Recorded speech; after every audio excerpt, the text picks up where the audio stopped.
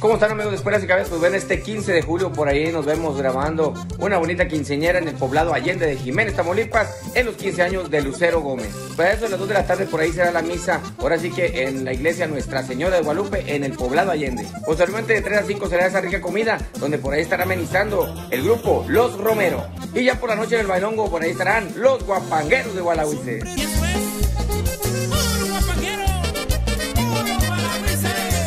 Qué bonito es quererse, como tú y yo lo hacemos, sin mentiras ni miedo, entregarnos entero. Qué bonito se siente.